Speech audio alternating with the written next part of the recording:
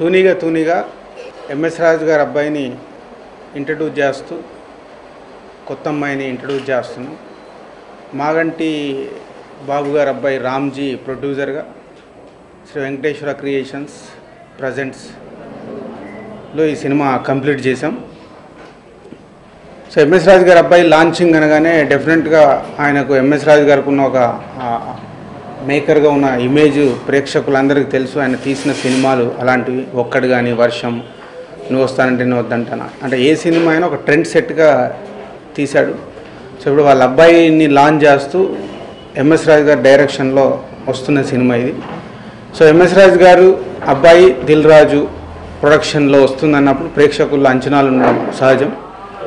ఆ అంచనాలని అచీవ్ చేయడానికి అన్ని రకాలుగా స్క్రిప్ట్ దగ్గర నుంచి వాళ్ళ పర్ఫార్మెన్స్ల దగ్గర నుంచి మ్యూజిక్ దగ్గర నుంచి మేకింగ్ దగ్గర నుంచి ఎవ్రీథింగ్ అంత కేర్ తీసుకొని సినిమా కంప్లీట్ చేసాం సో ఆడియోకి మూడు పాటలకి చాలా మంచి రెస్పాన్స్ ఉంది. సో వేరే సాంగ్స్ కూడా సినిమాలో చాలా బాగుంటాయి.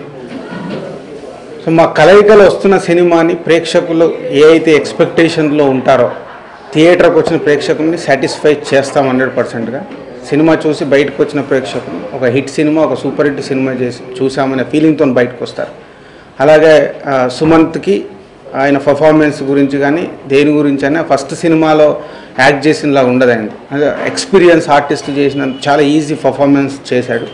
సో సుమంత్కి ఇటు మాకు అందరికీ మంచి పేరు తెచ్చే సినిమా ఇది. సో ఈ సినిమాని కంప్లీట్ చేసి రెడీగా ఉన్నాము. ఈ నెల ఇరవై జూలై ఇరవై రిలీజ్ ప్లాన్ చేసాం సో టోటల్గా శ్రీ వెంకటేశ్వర ఫిలిమ్స్ ద్వారానే రిలీజ్ చేస్తున్నాం. సో ఎంఎస్ రాజు గారు ఒక మనసంతా నువ్వే నువ్వు వస్తానంటే నేను వద్దంటానా? ఎలా అంటే ఒక యూత్ఫుల్ ఫ్యామిలీ ఎంటర్టైనర్స్గా వచ్చాయో మా బ్యానర్ నుంచి వచ్చిన బొమ్మరిల్లు కానీ కొత్త బంగారు లోకం మిస్టర్ పర్ఫెక్ట్ ఇవన్నీ సినిమాలు ఎలా యూత్ అండ్ ఫ్యామిలీకి దగ్గరగా ఉండే సినిమా ఇది. సో ఈ సినిమాలో ఉండే బ్యాక్ డ్రాప్ కూడా చాలా కొత్తగా ఉంటుంది. ఆ బ్యాక్ డ్రాప్ సినిమా కంటెంట్ ఇవన్నీ కలిపి డెఫినెట్గా ఈ సంవత్సరంలో ఆల్రెడీ ఎన్నో సూపర్ హిట్స్ వచ్చాయి ఇండస్ట్రీకి. ఆ పక్కన ఈ సినిమా జూలై ఇరవైన నిలబడుతుందని చాలా గట్టి నమ్మకంతో ఉన్నాను. So July twenty cinema release. Actual MS Raju గారిది మనసంతా నువ్వే సినిమాలో ఒక సూపర్ డూపర్ హిట్ సాంగ్ అది అందరికి తెలుసు అది. సో ఈ సినిమాలో అమ్మాయి అబ్బాయి రెండు తూనిగలు. సో అది ఏంటి? సినిమా చూస్తే అర్థమైపోతుంది. Out and out is love story. Cinema beginning నుంచి ఎండింగ్ వరకు లవ్కు సంబంధించి ఉంటుంది. సో దాని మీదే కాన్సెప్ట్ ఉంటుంది కాబట్టి సో అది టైటిల్ పెట్టాను జరిగింది. అంటే యాక్చువల్లీ సినిమాలో నేను ఫస్ట్ నుంచి లేను. వాళ్ళు ప్రాజెక్ట్ అనుకున్నారు అంత అయిపోయి ఫైనల్ అయిన తర్వాత ఎంఎస్ రాజు గారు ఒకరోజు ఈ స్టోరీ లైన్ చెప్పారు. స్టోరీ లైన్ విన్నప్పుడు అంటే వాళ్ళ అబ్బాయిని లాంచ్ చేస్తున్నాడు కాబట్టి నా సపోర్ట్ కూడా ఉండాలి ఈ సినిమాకి. ఆయన అంటే స్టోరీ లైన్ చెప్పింది ఉద్దేశం కూడా అదే.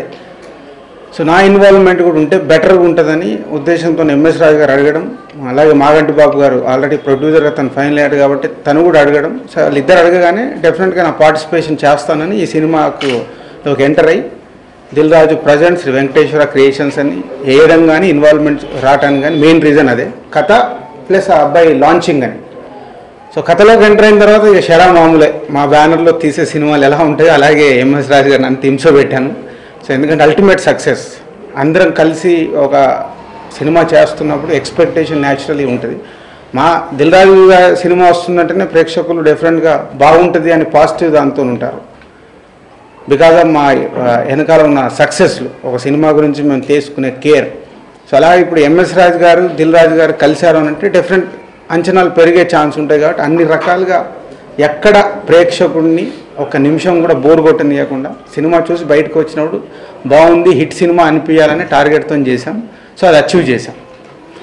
లాస్ట్ క్లైమాక్స్ మటు డెఫినెట్గా ట్వంటీ మినిట్స్ క్లైమాక్స్ చాలా కొత్తగా ఉంటుంది. ఇప్పటి వరకు లేని క్లైమాక్స్. అలాగని ఓవర్ మెలో డ్రామా కాదు ఇవల్ల ప్రజెంట్ ఆడియన్స్ ఏది ఏ ఎంటర్టైన్మెంట్ అయితే కోరుకుంటున్నారో అది ఉంచుతూ ఒక ఫీల్ గుడ్ సినిమాగా చేశాం. సో ఆల్ యూనివర్సల్ ఆడియన్స్కి నచ్చేలాగా తయారు చేశాం.